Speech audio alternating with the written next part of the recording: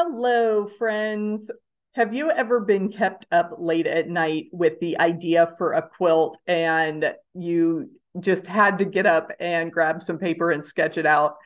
That happens to me a lot. If I'm not actually sewing, I am dreaming of new quilts to make. And one of the best things to help with that process is EQ8. I love the electric quilt design software. I have used it for years. And today I want to share with you my top 10 tasks that I do with EQ8. Okay, here we are in the design software, and I am working on the a block. So I'm in the block work table. So the number one thing that you can do is draw a quilt block.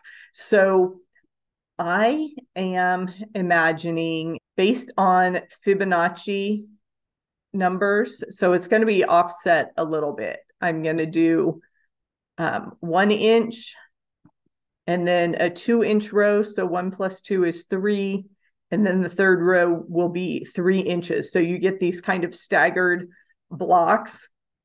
Um, that, but it's still a nine patch. So then after I've drawn that with those lines, I can come over to the color option and I can use the plain um, colors that they have, or I can use the preloaded fabrics. So I like to just play with some of these fabrics.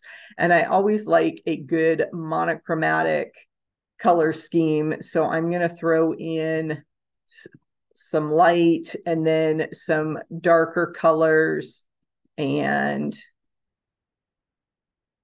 do something like that. So you can play around with your colors and the ones you've used stay up in this little bar so i can come back and i like that more medium tone in there as well.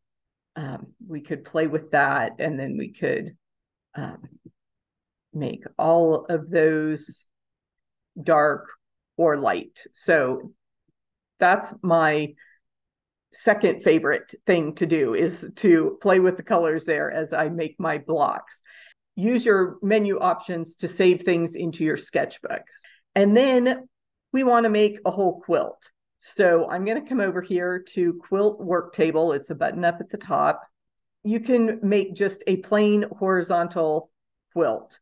So let's see what that looks like. I want to choose my layout. Um, you can adjust the size of the blocks here. It doesn't matter if that exactly matches the blocks that you drew previously. I started with a six inch block and this says nine inch. It'll adjust the math for you. But let's just make a nice big quilt with 12 inch blocks so you can see how it was adjusting things there. And um, I don't want any borders now. So I'm going to delete that option, but we could come in and add multiple borders. And then we get to the design part in and we can uh, use the shortcut, hold the control button, and they all drop in nice and easily. So once we have our blocks there, kind of boring when they're all set up straight. So every other one, I'm going to turn around to try and make this optical illusion quilt getting bigger and smaller. So I'm just hitting the rotate block and it makes that fun stair step looking option from my blocks. The other fun option is to play with this symmetry button. So I can uh, rotate my blocks if I just click the button. So there it rotated them to make a large center square. There's an even more randomized version of kind of the stair step that I was doing and some nine patch options that looks similar to the other stair step that I did. Ooh, that's fun. And you can just keep clicking through those randomized options. So that's another fun tool to use in the EQ software is that ran that symmetry button, which seems to randomize all your blocks. It's a lot of fun.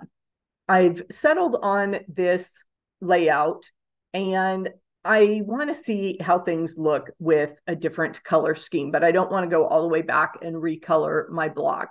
So I'm just going to come over here to the fabric tools and that opens up the same color library that I had before.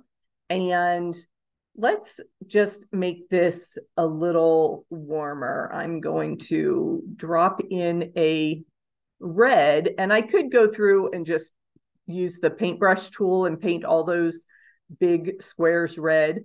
But if I use the swap color button, it goes so much faster. See, boom, I've I've made all my colors, those dark colors red.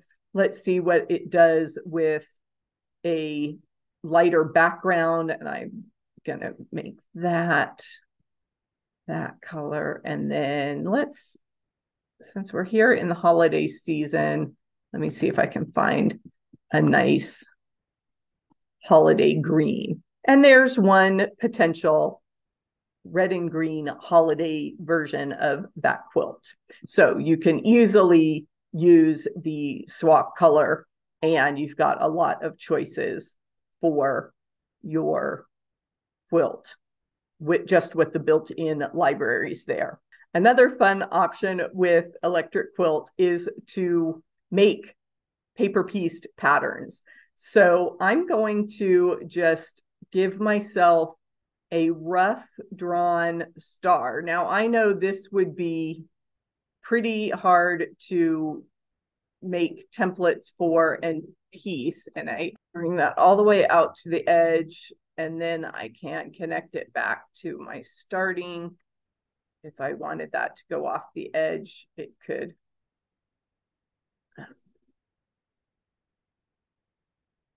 we could do something like that. Then if I go to print and export, I have several different options. I can just print the block. I could print some cutting templates. I could print rotary cutting instructions, but I know I want to foundation paper piece this star. So I'm going to click on foundation and it brings up my block and these different colors are the sections that you would work with in order to put the whole block together. So I can uh, preview this and it shows me the different te template sections that I could start with. And you can drag these around a little bit to give yourself room to trim those paper foundations to actually then piece them together. And you would be able to just print that off and make that star block really quick and easy. So we've covered six great things that you can do with EQ. And I want to go to the library feature now for number seven. So you can see there is a huge library of quilts quilt patterns that you could make here. I love stars. Nine patch stars are so much fun. So let's work with this, that block with the corners. You can see a lot of them are kind of similar. I also like the uh, framed friendship star. So we can uh, select that and edit to the block work table. We come over to our color tab and there we can see our star. Um, I'm going to add that to my sketchbook, but you can make all sorts of sampler quilts just with the selections in the block library for EQ8. So have fun exploring that. For my next quilt, I want to use the on point layout. So that just shifts everything 90 degrees so that we have that on point layout and we've got the setting triangles around the edge. And there we go. I wanted a rectangular quilt. And then I come over to design so that I can actually put my block into that quilt. So I choose set block and we have our friendship star here. Again, I'm going to use my control option to put all those blocks in there. And you have the option then of leaving these alternate squares empty or filling them in with the stars. But that also fills in my setting triangle. So I'm going to go through and take those out of the border there and do something different. So that just gives us the look of those stars on point. Another option, so working with a horizontal strip quilt, and we come over to our layout baby quilt 36 by 42. Perfect. So I don't want just strips of fabric for this particular example. So I can come out to the style, the strip style, style here. I want to put some pieced blocks in there. And if they are, if this is a 36 inch strip and this bottom row is six inches tall, I want six blocks in there and they'll each be six inch squares. Same thing with the top row. That was a six inch row. So I want to put pieced blocks in there and put six of them. For a nine inch block, I'm only going to have four to make 36. And then with the 12 inch, I would have three. And then we had one more nine inch row that would be four. And then I could go to the design and I could put in some stars with ribbons around them. There's also some of these other standard blocks that are automatically listed there. And you could make your row quilt with the block library. So lots of fun places to play with EQ8.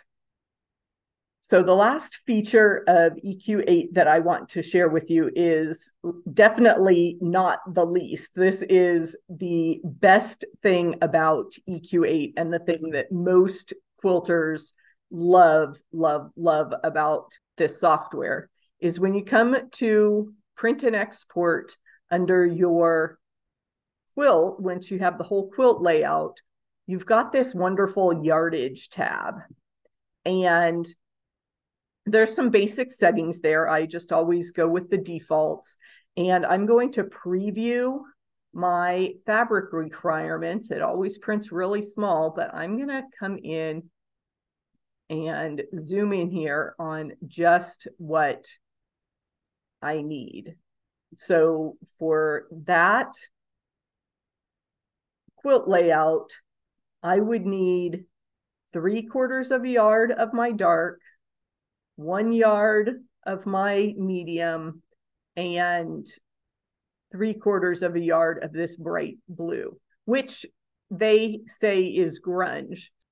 So, in addition to the yardage estimates, they give you the actual fabric that was loaded into their library. Now, of course, this is a few years old, so these fabrics may not be available, but as a bonus feature for EQ8, you can load your own fabrics. That's a little more complicated procedure that I'm not going to do in this video, but the having the ability to calculate your yardage is wonderful. EQ8 is having a fabulous sale in November of 2023. So I hope you'll hop over to their website and do a little pre holiday shopping, get yourself in a good position for lots and lots of quilting in the new year.